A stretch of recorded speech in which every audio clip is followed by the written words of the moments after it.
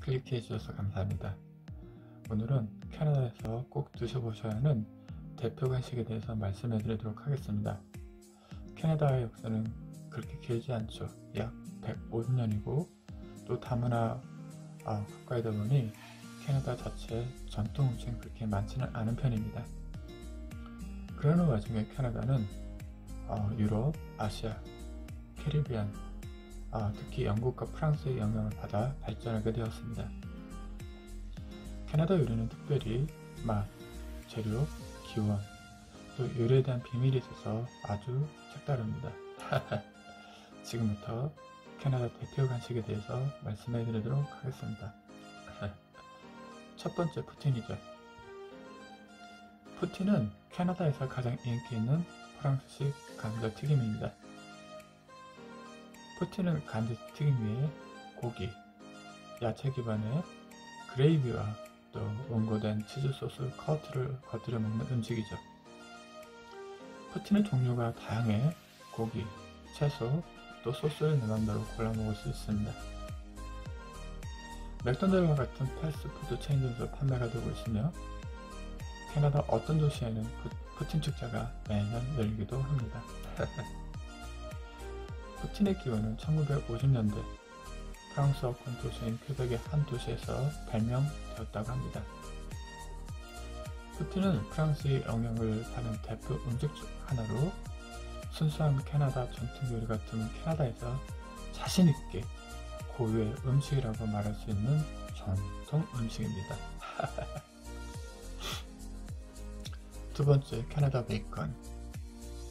유럽의 몇몇 나라와 미국은 소금에 절인 얇은 돼지뱃살 베이컨을 아주 좋아합니다.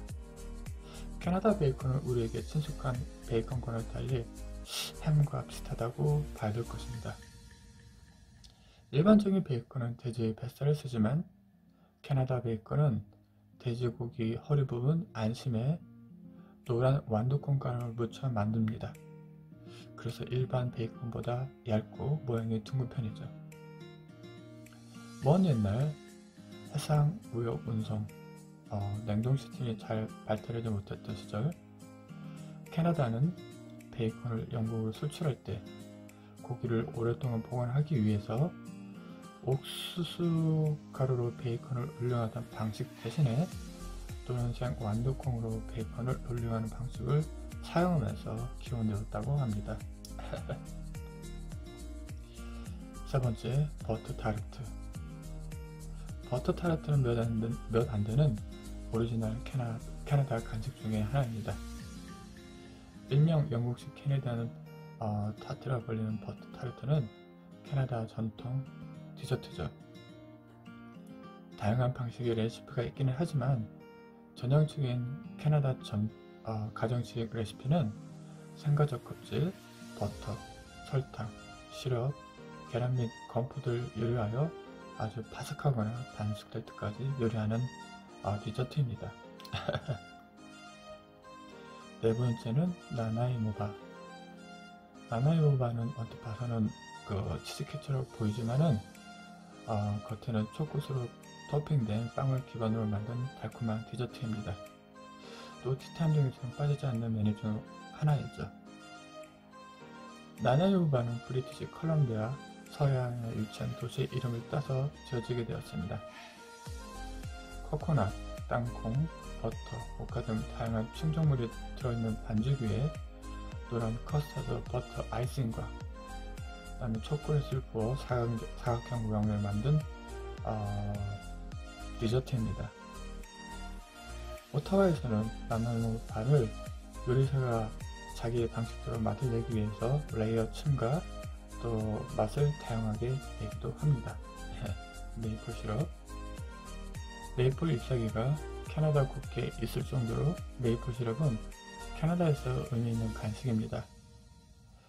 퀘벡은 세계 메이플 시럽의 약 85%를 생산하고 있죠.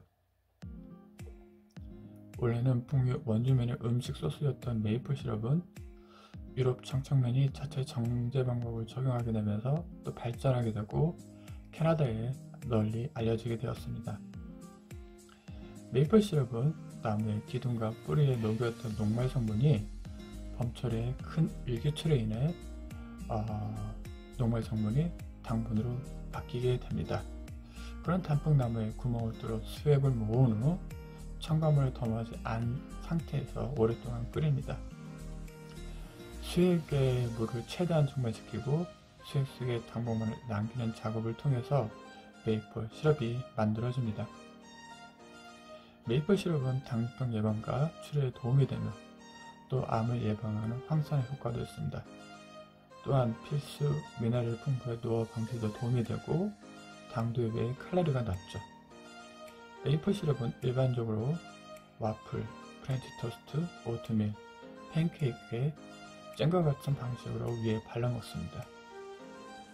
순하고 자연스러운 고유한 단맛이 있어 감미료 또는 베이킹 소, 아, 빵을 만들 때도 사용합니다.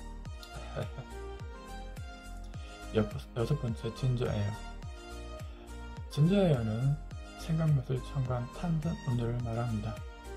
맛은 거의 사이다와 비슷한, 어, 비슷한데 생강 잔액을 넣어 미세하게 또 생강의 맛이 느껴집니다. 끝맛은 매우 깔끔해 캐나다에서 콜라만큼 잘 팔리는 음료입니다.